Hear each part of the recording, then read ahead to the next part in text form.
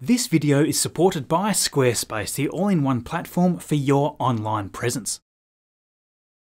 Hey, hey, Marcus House with you here. As always, there is space news everywhere to talk about this week. At Starbase, the next generation of Starship is being assembled, while Booster 4 testing finally involves the use of methane. Another captivating spacewalk with breathtaking views of the International Space Station and our world below. OneWeb changes launch provider, and with the deployment of the James Webb Space Telescope happening just as we hit a tally of 5,000 recorded exoplanets and counting, are we about to enter a new golden era for astronomy? Okay, Neil, we can see you coming down the ladder now.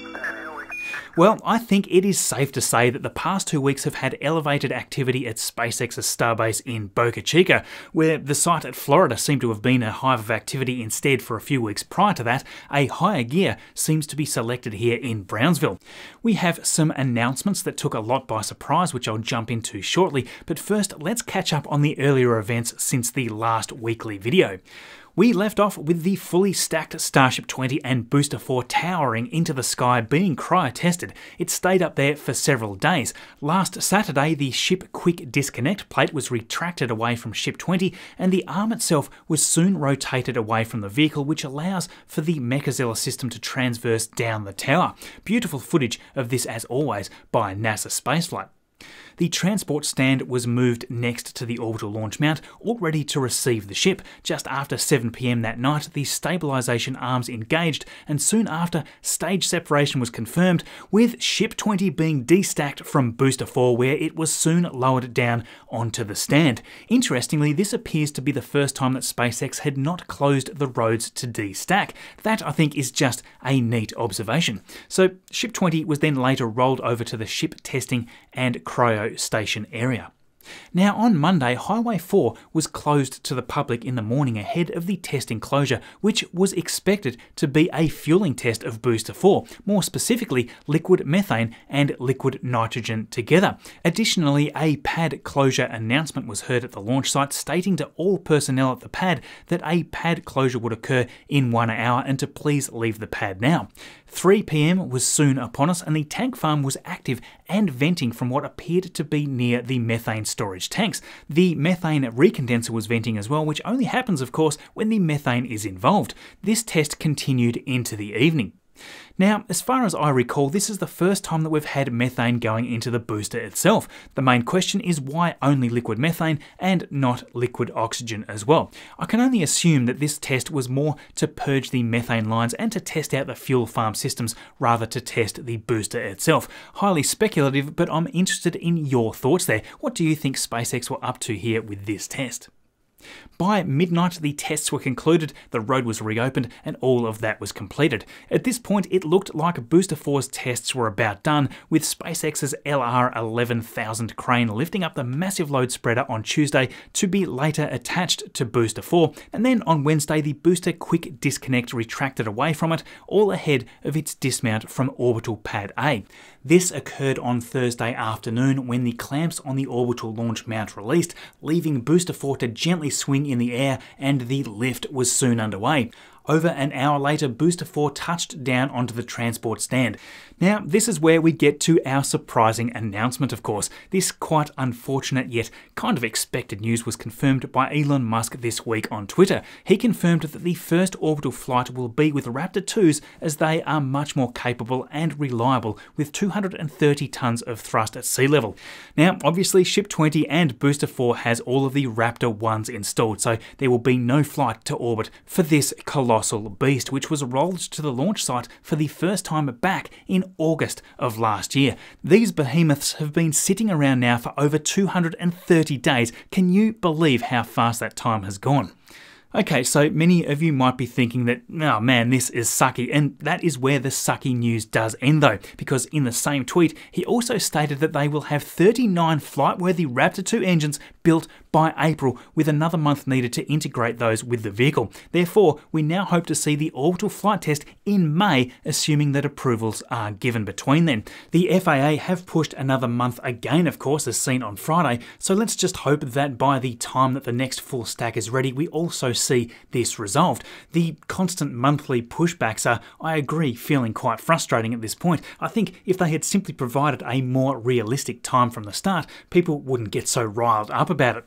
So, which booster and which ship could be making this flight? Could Elon Musk be referring to Booster 7 and Ship 24? We all certainly hope so. Over to news at the build site, construction continues on the new ships and boosters. Booster 9's common dome sleeve was rolled outside one of the tents and flipped upright. It is still, however, unknown if this is being reassigned to Booster 8, given that its common dome section was scrapped a few weeks back. In the high bay, Booster 7 received its triangular aero covers, which can now also technically be called chines or strakes, over one row of COPVs. It has been rolling in and out of the high bay as well, preparing, it seems, for a move very soon.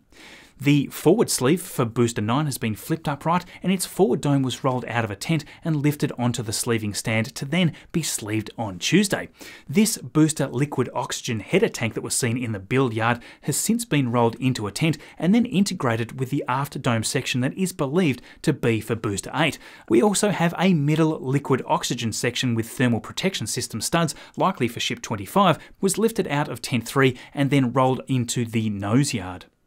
Okay, so it has been a little while now since we've seen a new test tank. The first section of a test tank booster 7.1 has been found outside of the high bay, which is made up of four 1.5 metre rings, similar to the previous booster after dome that was sleeved recently. This, we suspect, is going to be a 33 engine test tank, and speaking of the 33 engines, a fourth 13 engine thrust puck for the inner set of engines on a booster was delivered this week as well. So, yes, a new test tank, but what does all of this mean?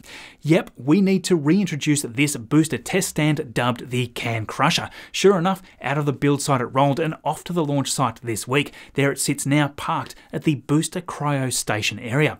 Now, some exciting HLS news this week. NASA has selected Starship for an additional mission to the moon with astronauts as part of the Artemis program. At least, I think that is what it says. See what you think. It says here, exercising an option under the original award, NASA now is asking SpaceX to transform the company's proposed human landing system into a spacecraft that meets the agency's requirements for recurring services for a second demonstration mission. It's not beautifully clear, is it? Artemis 3 was already awarded awarded, of course, and will have astronauts touching down on the moon aboard a SpaceX Starship human landing system. I assume there will be multiple now under a new award being finalised. Speaking of HLS, a neat clip here by Ryan Bale just chatting away to Victor Glover just recently. As Victor stated here, his main role right now is as the HLS representative. I'm very happy with the team that SpaceX has put together. I'm very happy with the team NASA has put together, and, and I think we're working together well uh, to, to accomplish this really challenging, really complicated mission. So far, the work is going very well, but there is a lot more to be done yet. I really do hope that we get to hear and see a lot more around this. So, yes, NASA, please do help us share this incredible news. Now, I talked about a potential Starship payload dispenser installed into Ship 24 last week, along with the door cutout on the nose cone barrel. I had a number of people in the comments suggesting that this is just as likely a test elevator system for HLS. Now, I don't believe so. Firstly, this door is much too small for that, and secondly, the priority is to get as many of those Starlink version 2 satellites into orbit as quickly as possible. Starship is not going to be doing missions with lives on board anytime soon, until it is at least well tested out and proven with many uncrewed missions.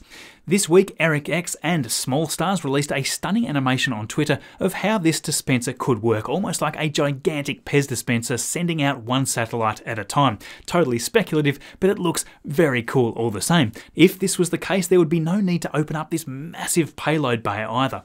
Give them a follow there on Twitter and YouTube. Thanks for supporting them. They do such great work. And hey, check this out as well. Yep, you guys did it. 400,000 of you subscribers. Thank you so much for all of your support over these crazy few years. It sure has been such a wild ride. It's all because of you, though. I could put all of the work in the world into these Saturday videos, but if there was no one to care or watch it, it just would be all for nothing, wouldn't it? So I'm massively grateful to each and every one of you. One little note for this coming week we have a surprise video coming. If you love 3D printed rockets, you are really going to enjoy this one. Okay, so as speculated in last Saturday's episode, SpaceX has indeed stepped in to help British company OneWeb stay on track with their launch plans. I'll jump into that in a moment, but just quickly, a huge thank you to Squarespace today for their support of this video.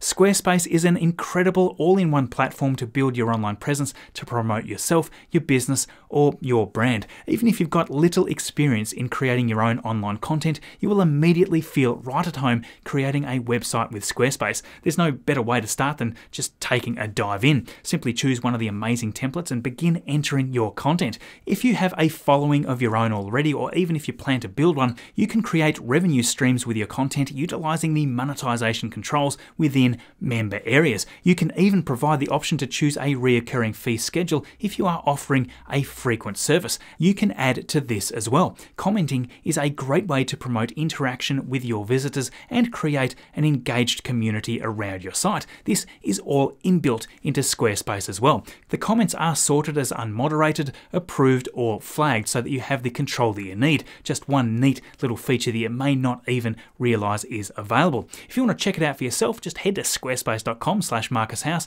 and save 10% off the first purchase of a website or domain. You'll find that link in the description below.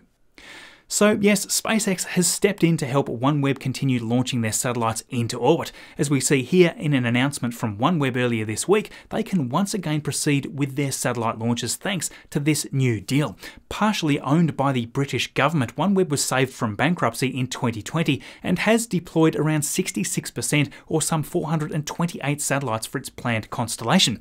With the six Soyuz launches that were planned, OneWeb were expecting to attain their global coverage goals by August. Unfortunately, the recent events in Europe turned these plans upside down, leaving OneWeb satellites with no ability to reach orbit. Earlier this month, we saw the scheduled launch from Baikonur Cosmodrome in Kazakhstan completely cancelled. The 36 OneWeb satellites sitting atop the Soyuz launch vehicle never lifted off after OneWeb declined to agree to the conditions placed upon them by Roscosmos. Now, thanks to the support from SpaceX, this launch limbo is not going to last long. While it may seem like an odd pairing pairing of competitors here, SpaceX and OneWeb have different target customers. It's great to see that it is possible to partner with a launch provider who also has a considerable investment in space based internet for consumers. Their common goals are mutually beneficial, of course, and the first launch is expected in the not too distant future. The details of the agreement reached here are confidential, so it's not currently clear how many launches will be required, how many satellites, or which launch vehicle configuration. However, it is thought that it will be the ever reliable Falcon 9. In the light of all this launch provider restructure, we now see the European Space Agency also having to review its plans, not least of which was the recent suspension of the two part ExoMars mission. Launching the Trace Gas Orbiter in 2016, the second part to this program was to see the launch of a Mars rover named Rosalind Franklin after this year, but sadly, the collaboration between ESA and Roscosmos had to be suspended. NASA was also participating in this mission, providing a mass spectrometer for the rover as well as other technical assistance. So, yes, there are huge issues now around completing this Mars program, given that the rover was meant to be delivered to the Martian surface by a Russian lander, which would have served as a surface platform for conducting science experiments. It's now thought to be basically impossible for a launch to take place this year. Hopefully, one day in the future, this mission can be completed.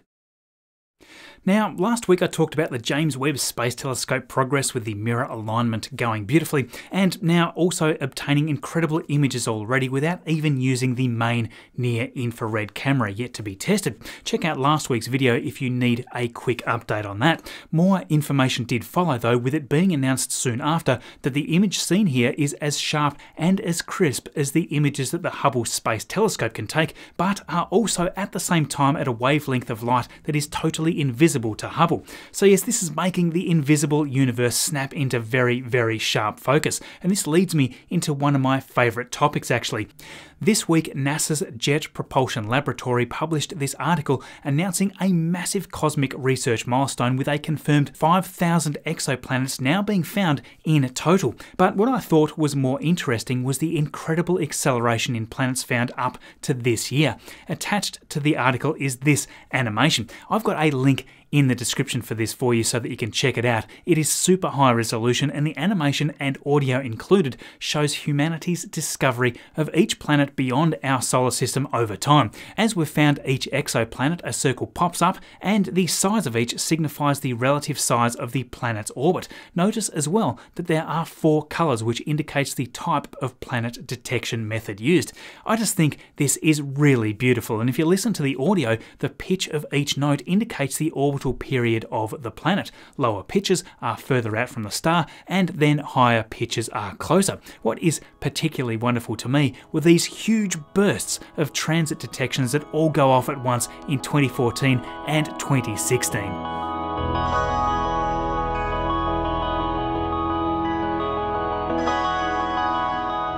So the reason that they all pop in at once like this is because you need to set up a telescope to stare for years at a field of stars, apparently over 170,000 at a time in this case, and they then track the tiny dips in starlight when a planet crosses a star's face. After picking up all that data, all of these were known simultaneously using that transit method. You can see here compared to the other methods just how successful that has been. The Kepler telescope has picked up thousands of these alone.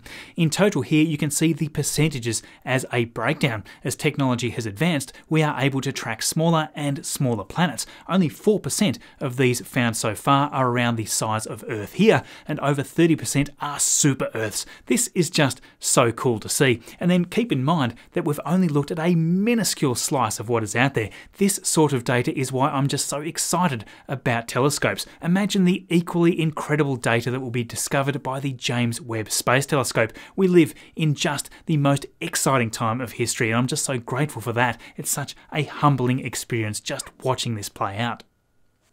NASA astronaut Raja Chari and Matthias Maurer from the European Space Agency conducted a spacewalk on March the 23rd taking almost seven hours to complete various maintenance tasks on the International Space Station, Raja, with the red stripe on his suit, was on his second EVA, while this was the first for Matthias. On egress from the Quest airlock, there was a delay of around an hour after buddy checks revealed a loose camera and light assembly on a helmet. Now, we've seen this before on a previous walk, a quick fix using a wire tie, and they were both on their way to complete their primary objective. Raja set off to replace a pair of flex hoses on one of the port side radiators that bleed off heat generated by the station's electronics, while Matthias ran some power and data cables for a camera to be replaced later in the Other activities included installation of a jumper on a Columbus module and releasing some clamps on the Bartolomeo science platform, the exterior mount used for scientific experiments.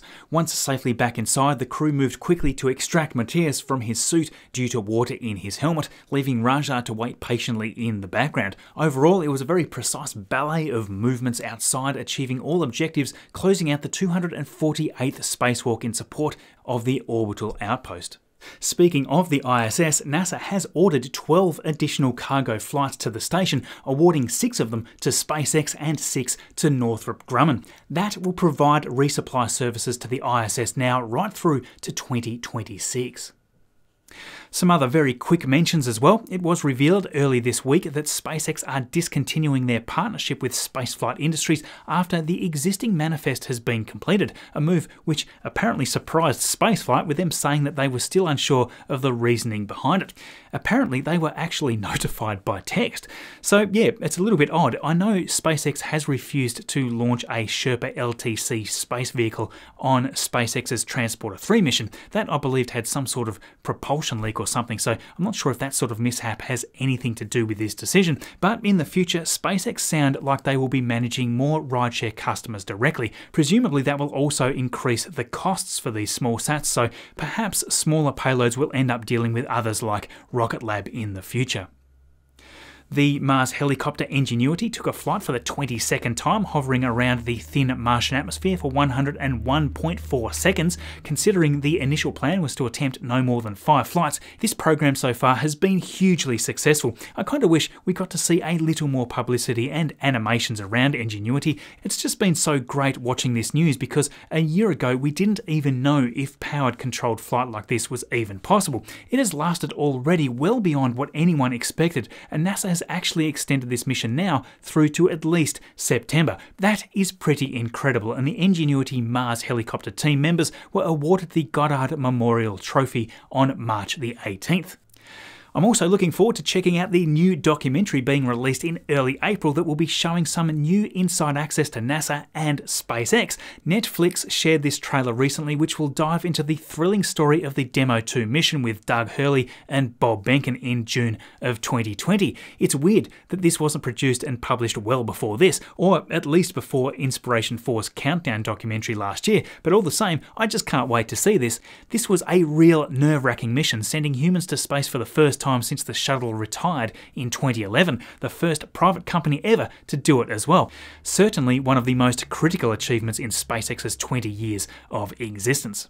So, yes, you are all caught up on yet another week of space goodness. Lots more coming in next Saturday's video, so stay tuned there. And thanks so much to all of you amazing people out there that love space and space technology. As I tweeted out here as we crossed that 400,000 subscriber mark, without you, there is no way that I can create this content that we do here. It's such a blur as well, with all of this happening in a few short years.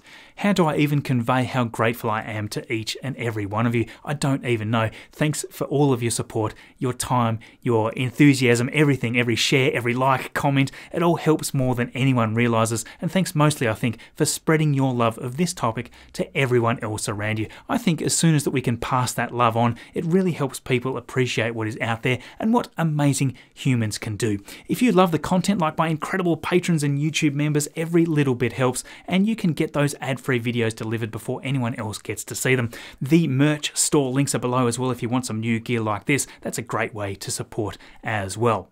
The tile in the bottom left today will take you back to the video from last week. If you missed that one, we had the Starship cryo tests, Astra launch, and James Webb Space Telescope updates. In the top right is the latest video, and the bottom right, content that YouTube thinks that you will like from the channel. Thanks as always for watching all this way through, and I'll see you all in the next video.